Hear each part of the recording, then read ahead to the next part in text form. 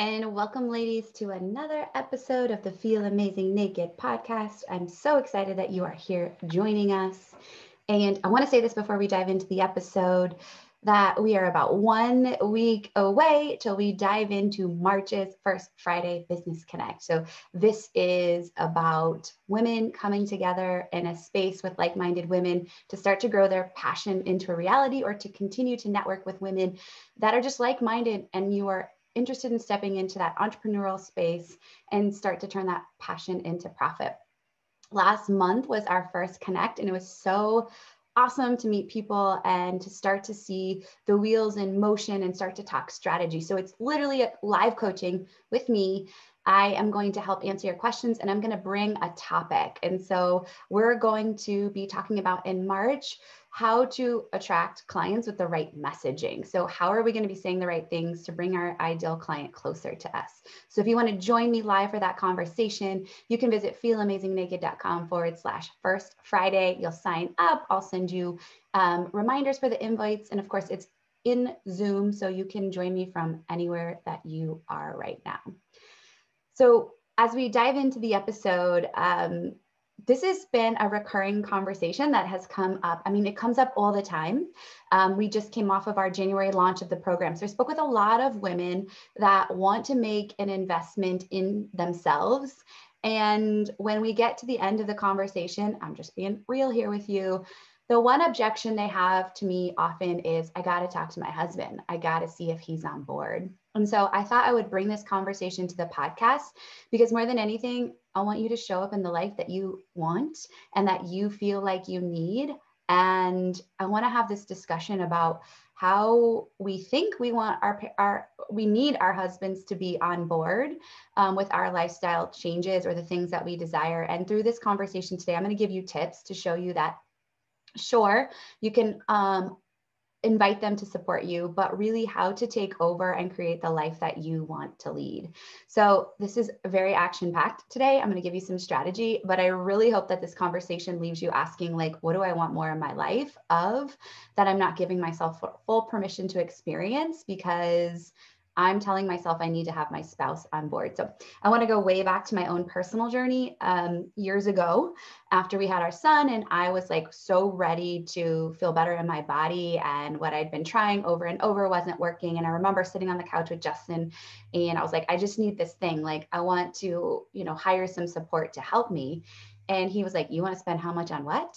And I was like, Yeah, I need some guidance. And he did not want to hear it. And at first, he did not want to hear it. And so I waited and I was remember being in that place feeling so miserable and like I was almost nervous to bring it up to him to even talk about I wanted to spend money on myself and get support because I was thinking like he's going to think I can't do this myself and I'm a failure and he's going to say the money we don't have the money and he's going to say all these things but in my heart I knew what I really wanted. I needed to feel better in my body because how I was feeling was shitty and I didn't want to stay in that place. And so at the time, I honestly, I think it was like $200 or something that I was spending per month. Maybe not even that. Maybe it was 99, but I wasn't really working. My business hadn't started. And so that money at the time felt, you know, um, a couple hundred dollars, you know, felt like a lot. And the more I sank into it, I realized like, we spend a couple we were spending way more money than that on just eating out and how invaluable eating out was and so that really was a catalyst for me to look deeper at is this a conversation of him being on board and us not having the money or is this a conversation about priorities and what I've learned after coaching many women is they so desperately want to break free of where they're at, whether it's feeling better in their body or building a business, which is a lot of the ladies I support. And so they are so nervous to have this conversation because they are so afraid to show up for themselves and have this uncomfortable discussion with their husbands about how they need supported. So I want to help you reflect on this. If you are at that place where you want something for yourself and you're afraid to have the conversation, I hope that today's podcast supports you in that. Um, so we're going to talk about how to have the conversation, but also how to make changes and navigate how to get your partner on board, which and that might go against the grain of what some people think, but um, I believe there is a compromise and a happy medium. So the first is let's talk about the conversation. Let's just put ourselves in a position. You're a woman that's like, you know, I'm going to, I want to work with someone because I don't feel like myself and I want to get back to that, right? Which is um, many of the women I work with or in business, like I want to leave my job. I'm feeling like no purpose or I'm lacking purpose in my life in this certain career or staying at home. And I am, I've had this journey maybe, or I have this skill set and I want to take it to the next level. And that requires like, I don't know where to, I don't know how to do this. I, I'm not sure where to start. And so if you're that woman, really what I want you to invite you to think about no matter what is like, this is your life. And though you share it with someone else, ultimately, who you are to you is what matters most. And at the end of the day, the way we build confidence is following through on ourselves. And that's not about your husband, it's not about your friends or your parents or your children. It's really about how you show up for you.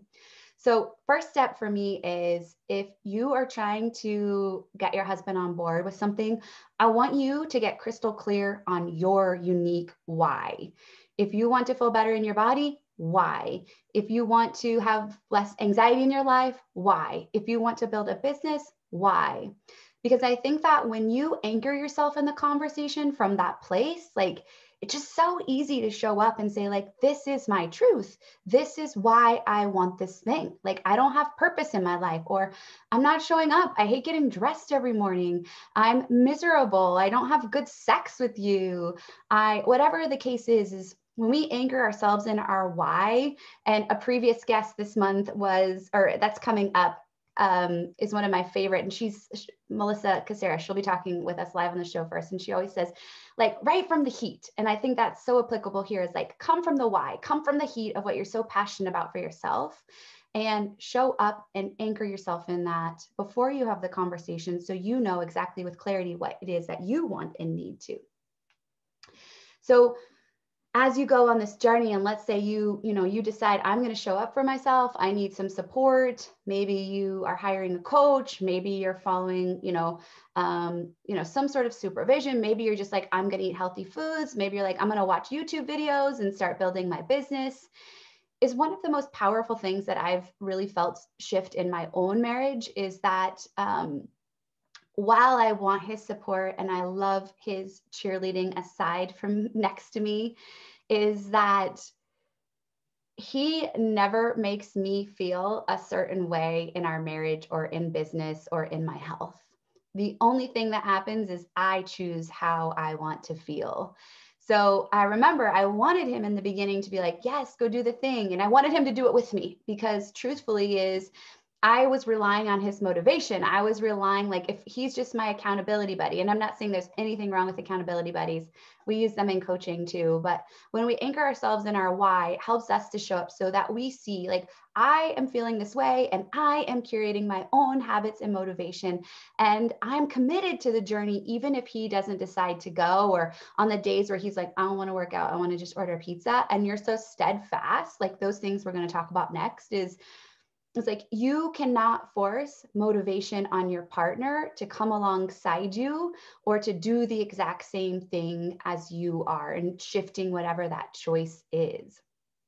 You have to rely on yourself and creating some form of accountability on yourself. Like this journey is 100% about you and what you want and what's going to make you feel empowered. Because I truly believe when you come from a place of empowerment and you are feeling so happy in your life, it bleeds out into everything and it will directly impact your marriage. And if you're a mother, it's going to directly impact how you parent. So, we're imagining like again we're starting this journey and we're so like i need you to support me and or I I want you to like do the thing with me is that you have to choose to really get in touch with what it is that you're needing from him. So if you're wanting his support or validation for the journey, nobody's going to give that to you but yourself. And this is where I think so much of I want to get him on board with me comes from is here's what really happens is sometimes, you know, like we decide to go on our journey and our husbands are just like uh, outsiders. They're sitting in the stadium of our arena of change and they sometimes consciously or unconsciously do things that kind of become temptations or sabotage to our mission. So that could look like, honey, I am bringing home like this amazing pizza. I stopped at your favorite restaurant and brought you this pizza or this X or whatever. Or this is your like bottle of wine. They had a four for one special. Or in business, it could be like, oh my gosh, but look, there's this amazing job over here, right?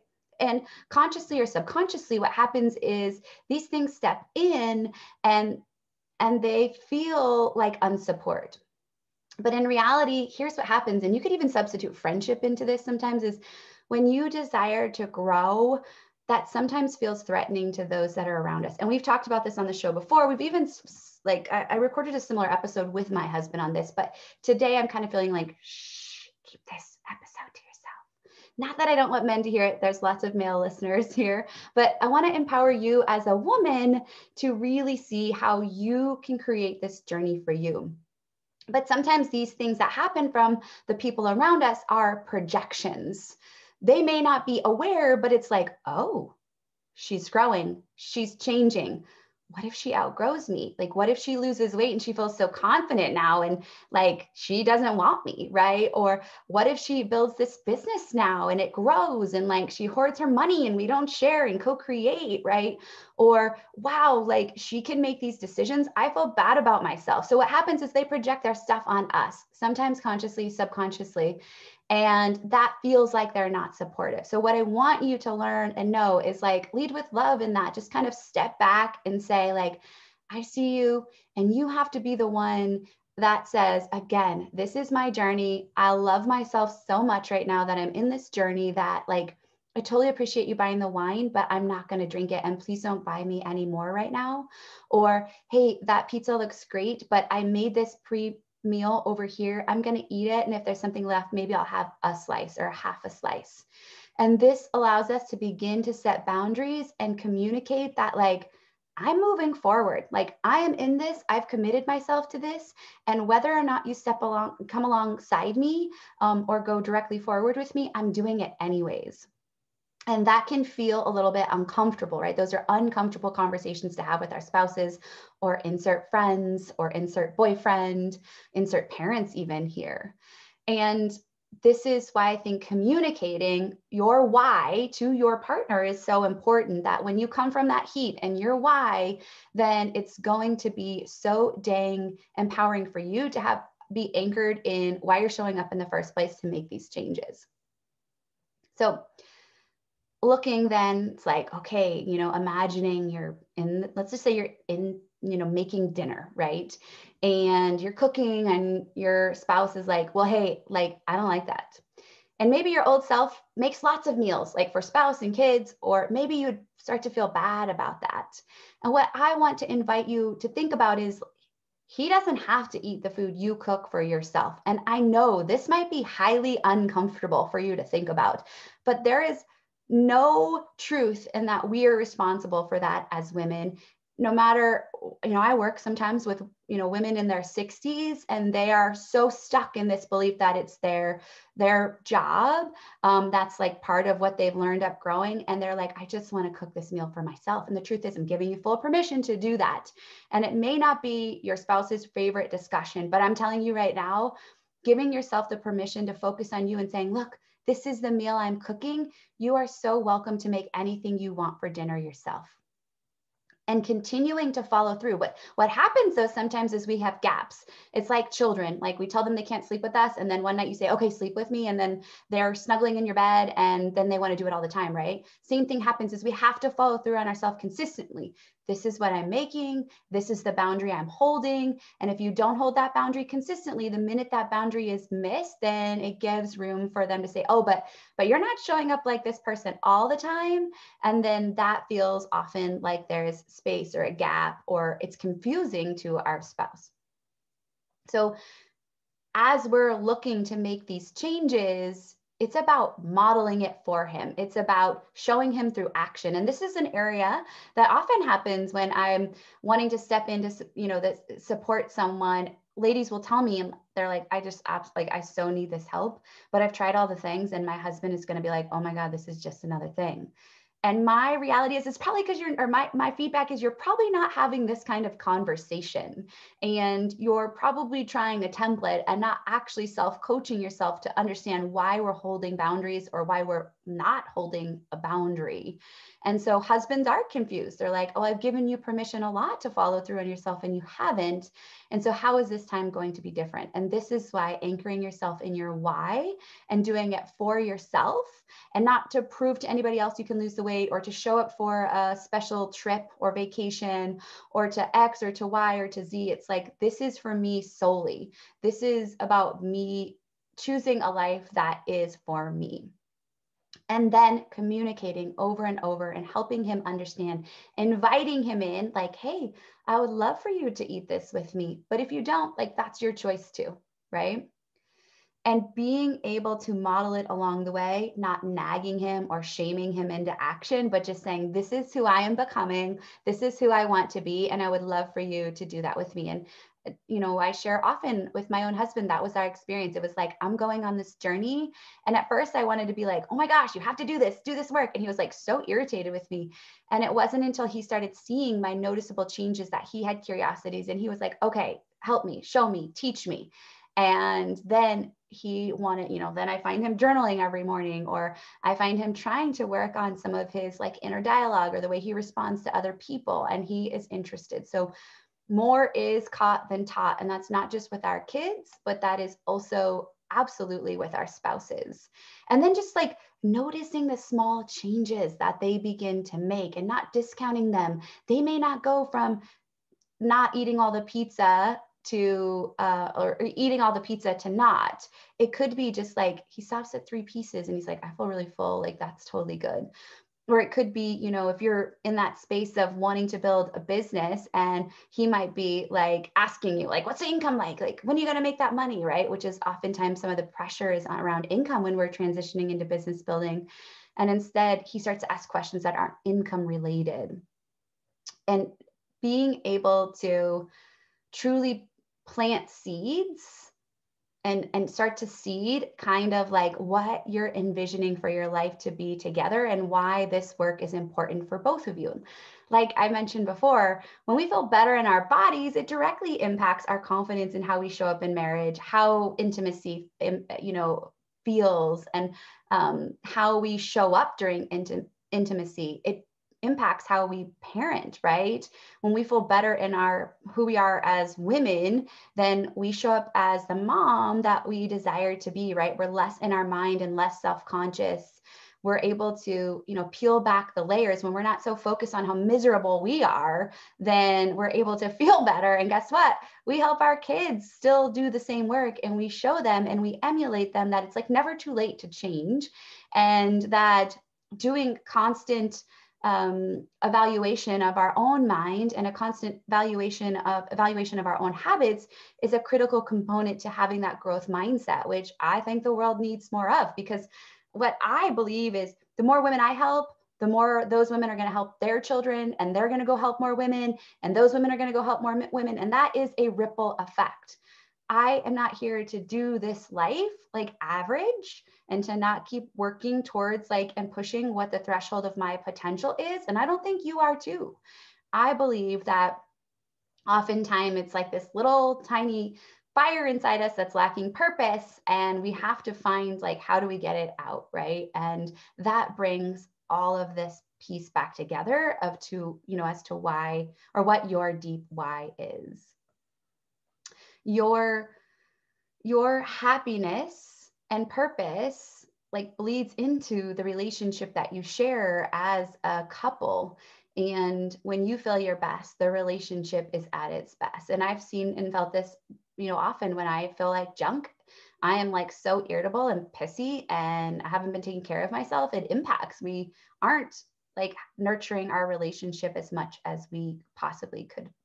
And on the flip side when he sees my fire, when I'm at my best, he wants more of that too. He's like, give me the good stuff. Like, let's inspire each other. And we will articulate sometimes, like, your energy sucks right now and is low. And you need to take some space to like work on your energy and yourself so that we can raise that like common vibe. That doesn't mean I'm shifting or trying to come down. Sometimes that does happen, but it's really being in tune with while you each you have this beautiful intricate relationship you're each unique humans you need different things.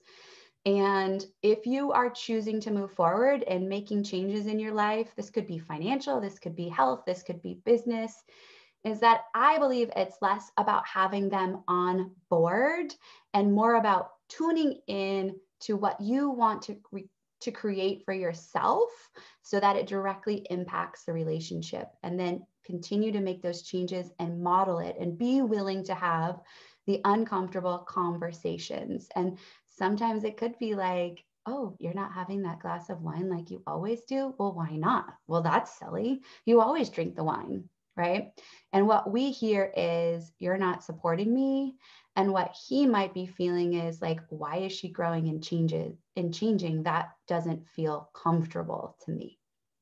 So if you are a woman and this this change shifting is happening for you, I want you to know that this is so like normal that we feel some of this pressure and pushback from those that are around us you know the most and we experience life with the most and really understanding that it's less about us and it's more about them is a really important piece of the puzzle and tuning into this idea which is so helpful for me is nobody makes me feel a certain way but me if he isn't supportive, the only reason I feel bad about it is because I choose to feel sad or bad about it. And that gives us great power to be able to continue to anchor ourselves to that why and keep moving ahead.